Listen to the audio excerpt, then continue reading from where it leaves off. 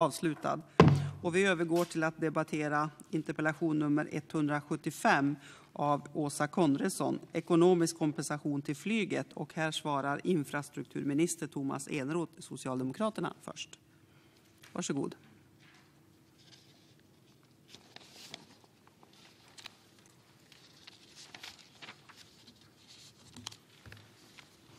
Så, fru talman!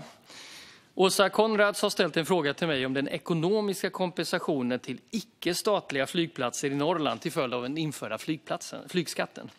En skatt på flygresor det infördes ju den 1 april 2018 för att bidra till att Sverige ska bli världens första fossilfria välfärdsland. Enligt regeringens budgetproposition för 2018 avsattes 84,8 miljoner kronor 2018 för att säkerställa att flygskatten inte innebär ökade driftunderskott Eh, vid icke-statliga flygplatser i Norrland. I övergångsregeringens budgetproposition, den som då Moderaterna och Kristdemokraterna stod bakom och som Sverigedemokraterna också stödde, eh, nej förlåt, i övergångsregeringens budgetproposition, där föreslogs 84,8 miljoner kronor för 2019 för samma ändamål. Men riksdagens beslut om statens budget för 2019, enligt en reservation från Moderaterna och Kristdemokraterna, det innebär att medlen för att kompensera för ökade driftunderskott vid flygplatser i Norrland halverades för 2019. Inga medel har ännu betalats ut till flygplatserna. I vårändringsbudgeten för 2019 föreslår regeringen att ytterligare 57 miljoner kronor ska avsättas för ersättning till icke-statliga flygplatser i Norrland. Stödet uppgår då till totalt 99 miljoner kronor för 2018. Om underlag visar att de 61 kronor extra per biljett gör att en flygplats får ökat driftunderskott, då ska den få kompensation. Det pågår ett arbete om hur stödet ska hanteras. Tack så mycket. Och då går ordet till Åsa Konrads, Moderaterna. Varsågod.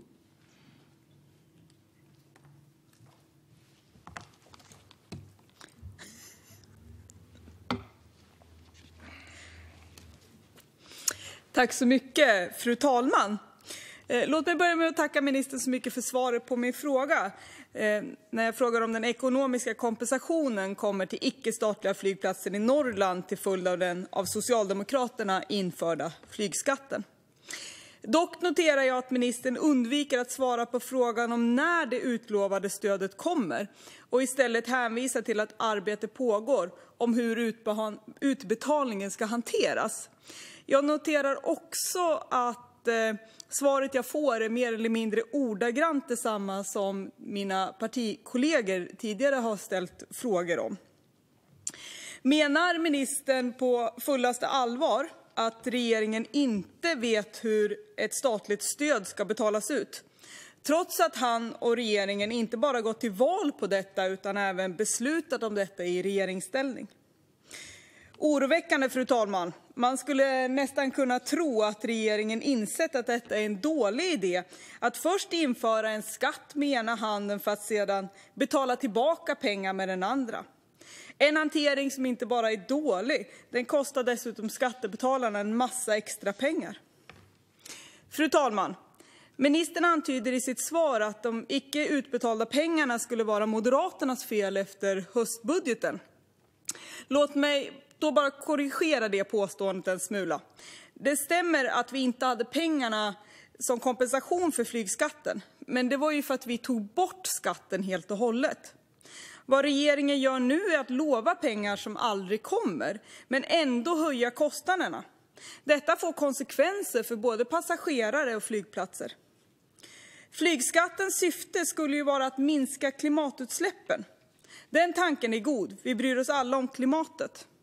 Men i praktiken så spelar detta väldigt liten roll då utsläppen istället flyttar på sig till andra färdsätt eller till andra länder. Problemet är i grund och botten inte flygandet i sig utan bränslet i flygplanen. Flygskatten slår nu mot både gamla och nya flygplan oavsett bränsletyp och den gröna skatteväxlingen uteblir. Följden av detta är att flygplatserna i norra Sverige går på knäna ekonomiskt och risken för nedläggning är stor. Utifrån att hela Sverige ska leva vore det förödande för svensk tillväxt och konkurrenskraft. Regeringen lägger nu fokus på södra Sverige och Stockholm för att sakta döda Norrland. Det är ett landsbygdsfientlig politik och ingenting annat. I januariöverenskommelsen nämns en flygbränsleskatt som regeringen och stödpartierna Centern och Liberalerna kommit överens om. Och man kan nu undra om denna skatt kommer läggas ovanpå flygskatten och hur konsekvenserna då kommer bli för framförallt norra Sverige. Så min fråga till ministern återstår. När tror ministern att arbetet om hur kompensationen för flygskatten kommer vara klar? Och kommer en eventuell flygbränsleskatt att lägga ovanpå flygskatten för Norrland? Tack. Tack så mycket. Infrastrukturministern, varsågod. Tack fru talman. Tack Åsa Konrads. Eh, låt mig citera Åsa Konrads. Det stämmer att vi inte hade pengarna. Så var det. Ni hade inte pengarna i budgeten. Ni drog ner pengar till de regionala flygplatserna i Norrland. Flygskatten fanns ju där. Den var ju inte avskaffad. Att ni drog ned stödet till de regionala flygplatserna. Vi återför det för att vi tycker att visar det sig att 61 kronor per inrikesbiljett har en effekt som gör att flygandet minskar, ja då ska man kompenseras. Det har vi varit tydliga med. Sen ska man ju komma ihåg att eh, det finns skäl till att några flygplatser har en utmaning i norra Sverige och ett av skälen är Nextjets konkurs. Eh, ett privat flygbolag som flög på ett statligt trafikavtal och som inte klarade av att upprätthålla kapaciteten och som eh, gick i konkurs och förorsakade en situation där fem flygplatser stod helt utan flyg. Två dagar efter Nextjets konkurs stod jag tillsammans med Trafikverkets generaldirektör och agerade för att vi återigen skulle ha flyg i luften. Vi kunde då påbörja en upphandling så att åtminstone tre av flygplatserna relativt skyndsamt kunde få flygförbindelse. För det är helt avgörande för dessa kommuner, inte minst i Västerbottens inland. För två av flygplatserna tog det längre tid att hitta en kompensation eftersom EUs regelverk enligt marknadens regler säger att det är viktigare att flygbolagen har rätt att buda i upphandlingen än att staten kan garantera medborgarna bra förbindelser för att hålla ihop landet. Det är en ordning jag inte tycker är acceptabel. Men vi tvingades då förhålla oss till det och fick under tiden kompensera Gällivare och Arvidsjaur med andra typer av transporter för att inte företagare eller medborgare skulle drabbas för hårt av den konkurs som bolaget gjorde. Sedan lyckades vi genomdriva upphandlingen och har nu flygaktörer som finns också på de flygplatserna. Det här har naturligtvis kostat staten pengar och det har också kostat flygplatserna pengar. Så är det när bolag går i konkurs. Men återigen, skulle det visa sig att flygskattens införande har haft effekter, då kommer vi kompensera för detta. Men jag noterar att Moderaterna inte är beredda att ha en flygskatt. Och jag noterar att Moderaterna i den budget som drog ned resurserna till de regionala flygplatserna också gjorde en formidabel, ja, en brutal besparing på allt som handlar om klimatpolitik. Det var besparing på en det ena, en det andra för att minska Sveriges ambitioner när det gäller att klara och ställa om klimatet. Det bekymrar mig. Sverige har ju annars uppfattats som ett land internationellt som står upp för Parisavtalet, som har höga ambitioner när det gäller att ställa om till förnybar energi, som har höga ambitioner när det gäller att ställa om transportsektorn, för där är det stora betinget. Men jag noterar att på punkt efter punkt så agerar nu Moderaterna i en riktning där man börjar fjärma sig från energiöverenskommelsen. Där man eh, inte riktigt ser nödvändigheten av att ställa om i transportsystemen. Där man inte ser att också flyget ska ta sitt ansvar. Så i grunden blir jag oroad över bristen på klimatengagemang hos Moderaterna. Vi är angelägna om att Sverige ska hålla ihop. Vi gör de största satsningarna på Norrland någonsin i nationell plan när det gäller satsningar på infrastruktur. Vi kommer att fortsätta upprätthålla god infrastrukturkapacitet i hela landet. Det var bland annat därför det var så viktigt för mig att agera så att man efter Nextjets konkurs kunde få flyg upp i luften igen. Så att eh, tillbaka till frågan. Vi kommer naturligtvis att se till att nu har flygskatten varit i kraft i knappt ett år. Det är först nu vi kan se vilka effekter en flygskatt i så fall har haft för de flygplatser som vi nu talar om.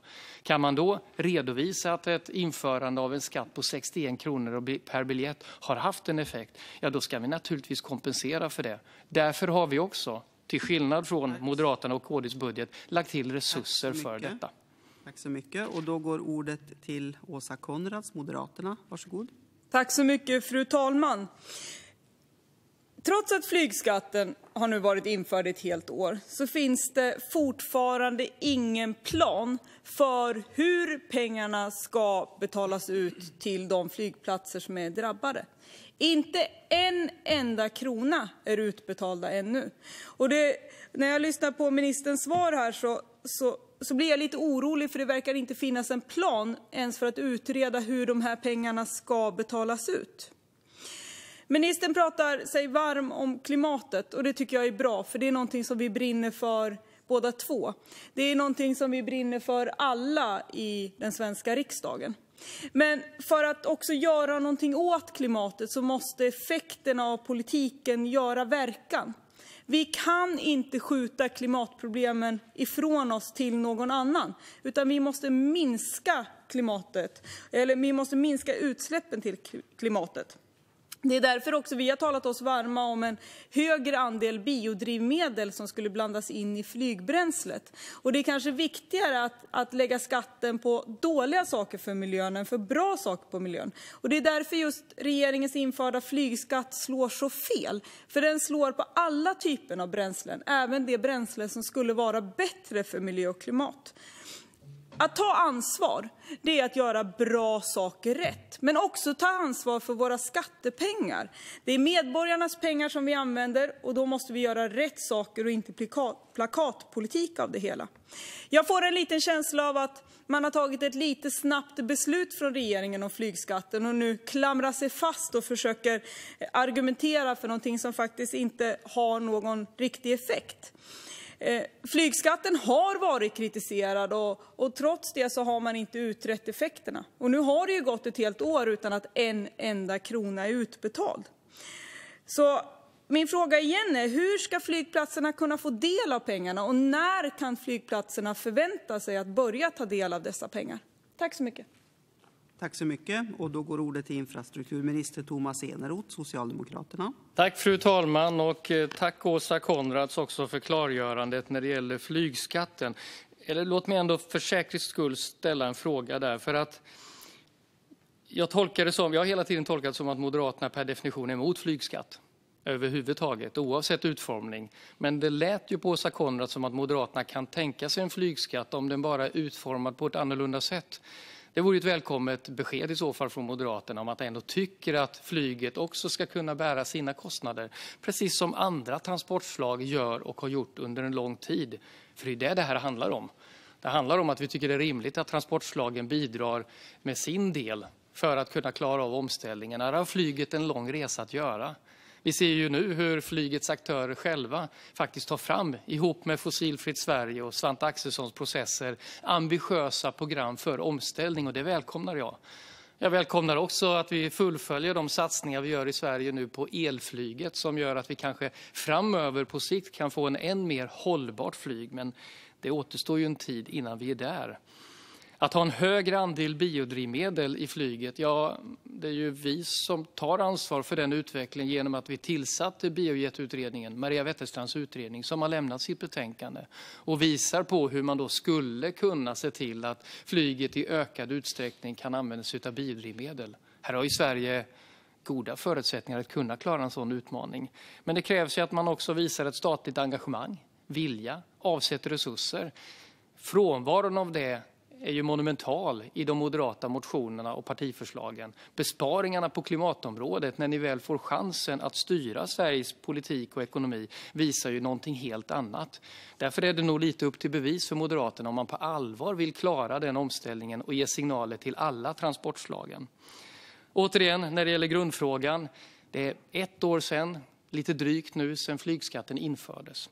Under den tiden så har eh, vi haft ett val vi har haft en eh, budget där man tog undan resurserna för flygskatten och där man, flygskattekompensationen och man dessutom aviserade från oppositionspartierna med stöd i riksdagen att man ville ta bort flygskatten. Nu lyckades vi se till att få en ny regering på plats med ett januariavtal och i januariavtalet så var vi tydliga med att flyget ska kunna bära sina kostnader men att man också ska ta ansvar för eh, sitt bidrag till miljön genom att flygskatten återinförs.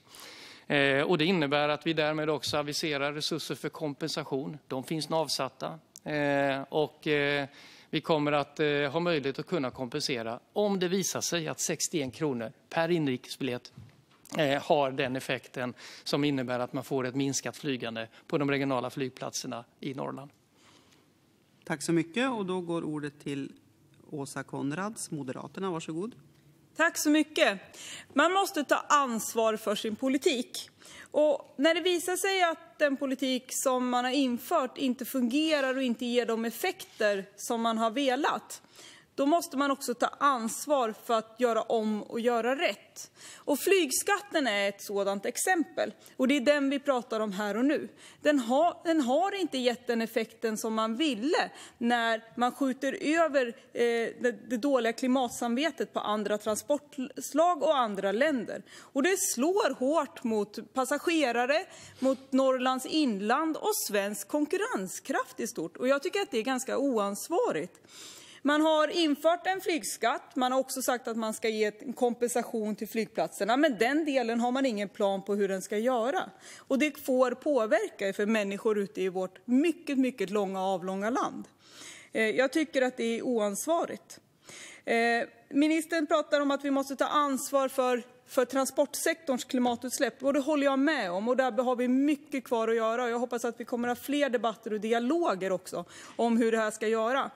Men eh, också för att kunna införa elflygen så är det viktigt att vi tittar på var kommer elen ifrån. Och där finns det anledning att diskutera energiöverenskommelsen som, som regeringen nämner. Och jag tycker att det är bra att Moderaterna har lyft den frågan. För det är en fråga som vi måste diskutera vidare om vi ska kunna minska Sveriges klimatutsläpp. Och det var ju ändå det som flygskatten syftade till. Tack så mycket. Tack så mycket. Och då var det slutreplik för infrastrukturminister Tomas Eneroth. Varsågod. Tack fru talman. I och med att det är slutreplik så kan jag då inte ställa några frågor, men jag blir lite fundersam oklart huruvida Åsa Coenraads och Moderaterna tyckte att flygskatten hade någon effekt eller inte.